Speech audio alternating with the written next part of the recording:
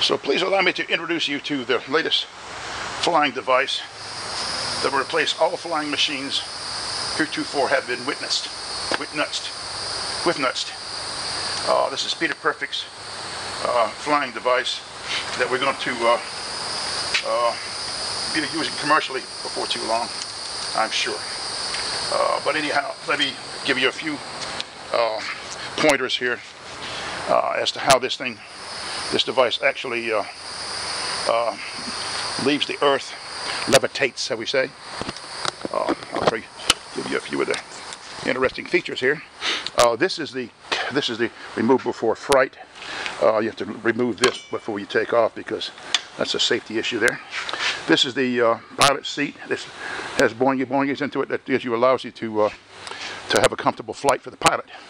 And here's the part of, the reason it flies right here, of course. And here we have uh, port and starboard uh, lights up here to, to, keep you at night if you're flying at night, night flight.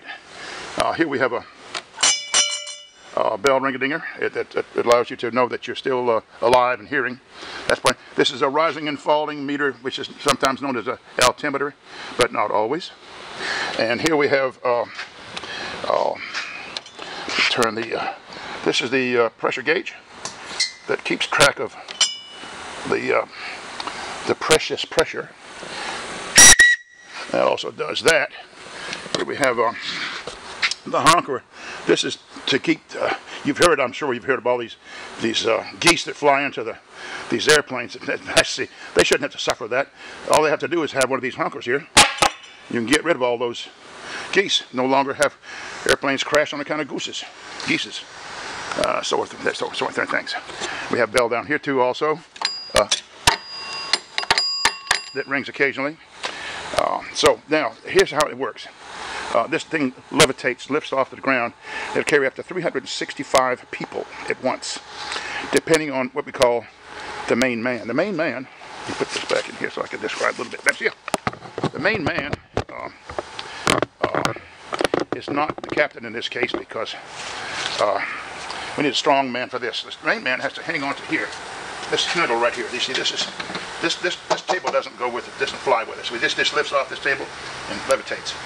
The main man hangs onto here, and everybody has to hang on to his uh, legs and arms and uh, things that hang out. And we have a, kind of a pyramid.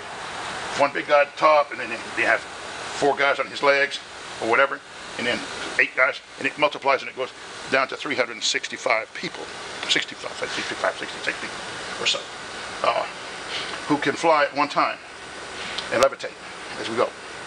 And it's a simple system, uh, but it's patented. And I'm not letting this out, let anybody know about this so far, because don't, don't tell anybody, okay? Right.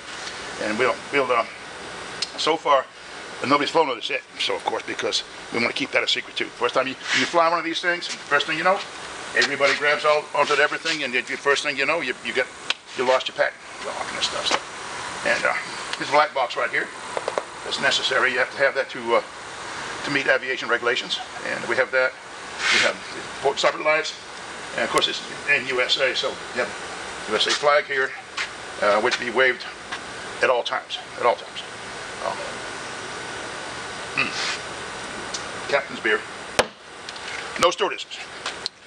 Well, we had stewardesses, but uh, uh, they wouldn't stay with us. They couldn't hang on for that long. And uh, so we lost it out of having stewardesses. So we have dinghy ringies here. Dinghy ringies here. And uh, a honky here. Honky. White folks. we have a handle right here that controls everything. This chromium handle uh, is the start and finish of the whole flight.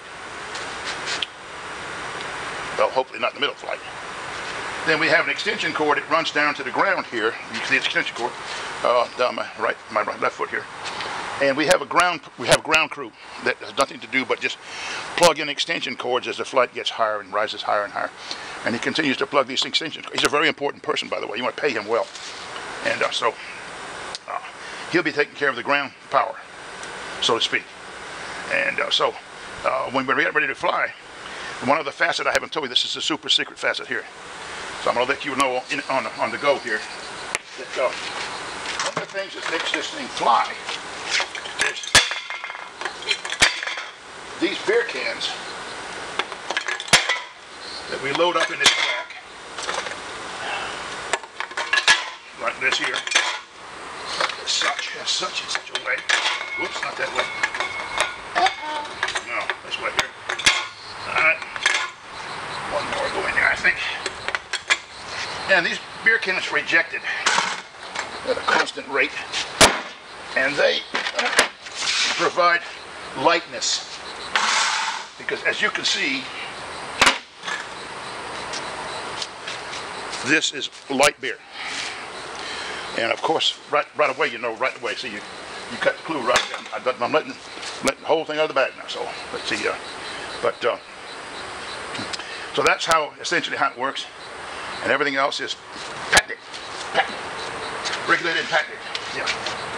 Uh, and we'll see. Uh, so far, we haven't had too many offers to fly this thing, so uh, to fly on it with us. And of course, I, I'm not going to fly it. no, no, no, no, no, no, no, no, no. All right.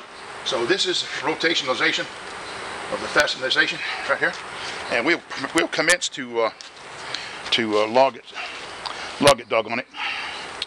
So before we do that, we have to uh, make sure we keep the gnats out of our eyes here, like this here, like right there. All right. Y'all ready for it? Here we go. Hang on now.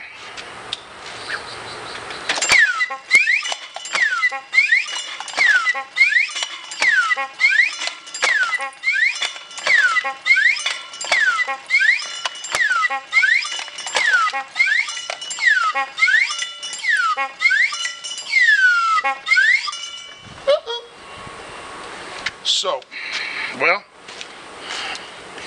we didn't get liftoff. We did not achieve liftoff, but we we did have fright, didn't we? Yes, we did. We had, now that uh, my beer can catcher was just a little bit off, just a little bit off, just like me, just a little bit off. We didn't get any beer cans clutch it, but uh, this is essentially how this magnificent machine works. So, don't tell anybody, okay? Because I don't want to lose my patent rights and all that kind of stuff. Right? Very good. Hey, thanks for coming in.